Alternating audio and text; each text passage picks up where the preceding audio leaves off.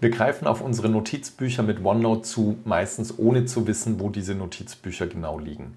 Solange sie in OneNote im Zugriff sind, ist das auch nicht weiter ein Problem. Aber wenn sie dann mal fehlen oder wenn wir wissen wollen, wo vielleicht noch Notizbücher liegen, auf die wir Zugriff haben, dann sind manchmal andere als die gewohnten Wege notwendig. Hallo und herzlich willkommen zu den Tipps und Tricks rund um die optimale Nutzung digitaler Technik. Mein Name ist Arno Burger und in diesem Video zeige ich euch, wie ihr OneNote Notizbücher findet bzw. wiederfindet. Basis dafür ist die Frage, wo können OneNote Notizbücher überhaupt liegen bzw. mit welchen Programmen können wir sie bearbeiten. Dazu habe ich schon ein ausführliches Video gemacht, das habe ich auch in der Infokarte verlinkt. Deshalb hier nur ganz kurz, ihr könnt OneNote Notizbücher im Dateisystem ablegen, ihr könnt sie auf OneDrive ablegen und ihr habt die Möglichkeit, sie auf SharePoint abzulegen. Wenn ihr in Teams ein neues Notizbuch anlegt, landet das auch in SharePoint. Wir können als Ausgangspunkt also OneNote nehmen und schauen, was uns dort angeboten wird oder wir schauen uns die drei verschiedenen Ablageorte an und gucken, was wir dort finden. Wir starten zunächst mal von OneNote aus und zwar starten wir mit der OneNote Desktop App. Die habe ich hier am Bildschirm schon mal vorbereitet und wenn ihr hier ein Notizbuch braucht, dann geht ihr auf Datei öffnen und dann bekommt ihr Notizbücher angeboten und zwar zunächst mal die zuletzt verwendeten. Da seht ihr hier, wie die heißen und direkt drunter steht, wo sie liegen. OneDrive hier oder hier auf dem Laufwerk oder hier Site Assets. Das heißt, das ist ein SharePoint. Und wenn ihr mit dem Mauszeiger drauf geht und ein bisschen wartet, dann bekommt ihr auch den genauen Pfad oder den genauen Ort angezeigt. Was jetzt die OneDrive oder SharePoint Notizbücher angeht, bekommt ihr die angezeigt von den Sites, an denen ihr angemeldet seid, beziehungsweise mit dem Konto, mit dem ihr angemeldet seid. Das wäre bei mir jetzt hier akademie.arnoburger.de. Wenn ich auf weitere SharePoints oder weitere OneDrives Zugriff haben möchte, dann gehe ich auf Konto und kann hier weitere Dienste verbinden, über Dienst hinzufügen, weitere Website kann dann ein weiteres Microsoft-Konto angeben, über das ich dann auf SharePoint zum Beispiel Zugriff habe. Oder kann auch gezielt ein OneDrive for Business, das ist das OneDrive, das ihr am Arbeitsplatz normalerweise habt, zugreifen.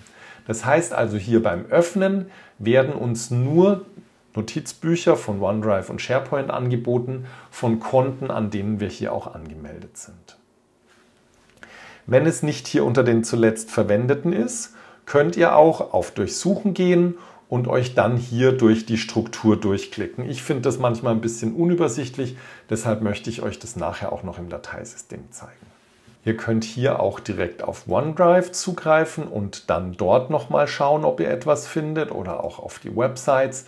Aber ich persönlich finde das hier eher unübersichtlich, beziehungsweise ich kann eben nur aussuchen, was mir hier schon angeboten wird. Und das sind nicht unbedingt alle Notizbücher. Soweit also zur OneNote Desktop App und dem Finden von Notizbüchern. Wir wechseln mal zur Web App. Ich habe die hier schon mal aufgemacht. Wenn ihr nicht genau wisst, wie ihr dorthin kommt, dann gebt hier oben mal office.com ein und meldet euch mit eurem Benutzernamen und eurem Passwort an. Und dann findet ihr hier OneNote. Und auch hier gibt es die zuletzt verwendeten. Ihr seht wieder den Namen und was ganz schön ist, ihr findet hier auch einen Link. Wenn ihr den anklickt, dann kommt ihr direkt an den Ort, wo dieses Notizbuch abgelegt ist.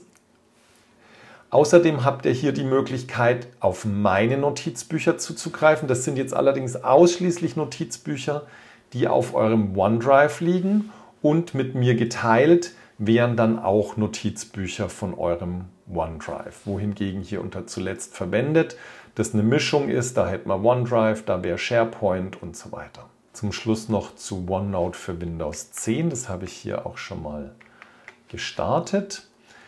Wenn du hier Notizbücher öffnen willst, dann gehst du hier auf das Büchersymbol, dann auf das Notizbuch, das aktuell angezeigt wird.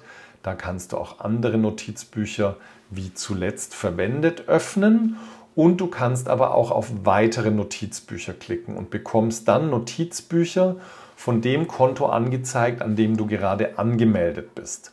Wenn du das nicht findest, was du suchst, kannst du auf Konto hinzufügen klicken und kannst dich bei einem weiteren Microsoft-Konto anmelden.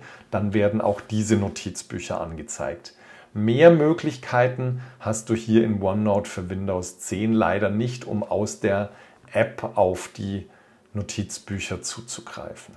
Der zweite Ausgangspunkt, von dem aus ihr OneNote-Notizbücher finden könnt, ist der Ablageort und da starten wir mal mit dem Dateisystem. Ich rufe das Dateisystem gerne über Windows-Taste und E auf, bin dann im Windows Explorer und dann könnt ihr hier über Dokumente auf den Standardordner der OneNote-Notizbücher zugreifen. Und da seht ihr, ich habe zwei Notizbücher. Das sind jetzt Ordner. Wenn ich mal hier in so einen Ordner reingehe, dann seht ihr, es gibt zwei Dateien. Das eine ist ein sogenanntes OneNote-Inhaltsverzeichnis und der zweite mit Punkt One ist ein OneNote-Abschnitt. Wenn mehrere Abschnitte da wären, dann würdet ihr hier auch mehrere solche Dateien .one, also OneNote-Abschnitte sehen. OneTalk steht für OneNote Table of Content 2 und diese Table of Content 2 habt ihr ab OneNote 2007. In älteren Versionen hieß das einfach OneTalk. Um den Zusammenhang mal ein bisschen genauer zu sehen, möchte ich euch kurz zeigen, wenn wir einen Abschnitt umbenennen, wie sich das hier auswirkt. Ich gehe dazu mal in die OneNote Desktop App, gehe auf dieses Beispiel für die lokale Ablage und benenne mal hier den Abschnitt um.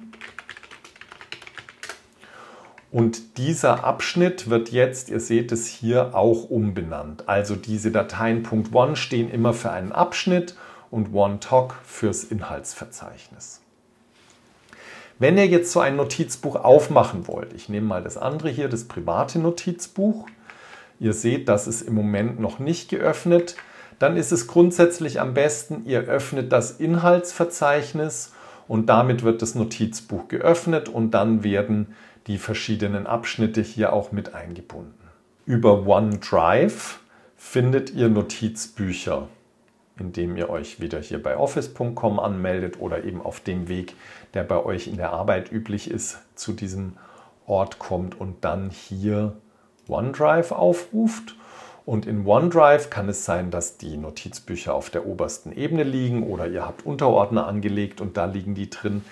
Im Unterschied zum Dateisystem ist es jetzt so, dass hier nur eine Datei für das Notizbuch steht. Also ihr habt nicht diese Unterstruktur mit Table of Contents, also Inhaltsverzeichnis und den verschiedenen Abschnitten.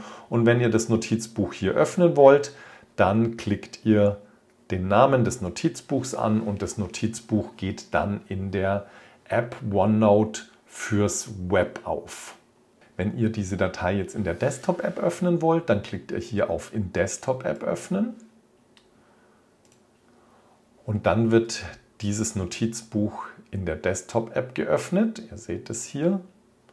Ist jetzt gerade hier mit aufgerufen worden.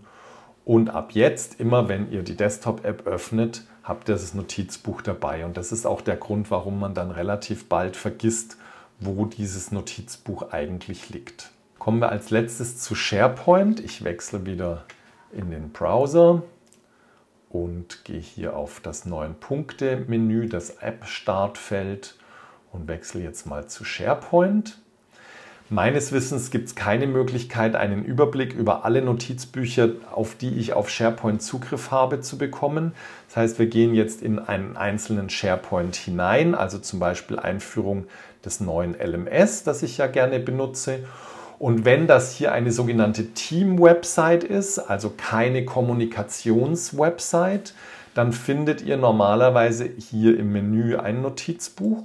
Das ist das Standard-Notizbuch. Es geht dann direkt auf, wenn ihr draufklickt und ihr könnt es auch hier wieder in der Desktop-App öffnen. Oder ihr schaut mal in die Dokumentenbibliothek. Unter Umständen gibt es in der Dokumentenbibliothek in einem der Ordner, ich nehme mal hier Teilprojekt Schulung, auch Notizbücher. Wenn ihr ein Notizbuch sucht, ist das A und O immer, Ihr müsst mit dem passenden Konto angemeldet sein, wenn ihr mehrere Konten habt. Denn OneDrive oder auch SharePoint stellen euch die Daten nur zur Verfügung, wenn ihr mit dem entsprechenden Konto angemeldet seid. An eurem Rechner lokal ist das ganz normal, da seid ihr ja angemeldet. Aber bei SharePoint und OneDrive kann es sein, wenn ihr mehrere Konten habt, dass es mal daran liegt, dass ihr ein Notizbuch nicht findet. Ich hoffe, das Video hilft euch ein besseres Verständnis über die Datei- und Ablagestruktur von OneNote-Notizbüchern zu bekommen. Ich hoffe, es hilft euch auch, eure Notizbücher besser wiederzufinden oder überhaupt mal Notizbücher zu finden, die ihr vielleicht im Zugriff habt. Wenn ihr weitere Fragen habt, schreibt mir die gerne unten in die Kommentare. Ich freue mich auch über Anregungen. Vielen Dank fürs Zuschauen, viel Spaß beim Ausprobieren und bis zum nächsten Video. Ciao, euer Arno. Ach stimmt, und wenn es euch gefallen hat, dann hinterlasst mir doch gerne noch ein Like.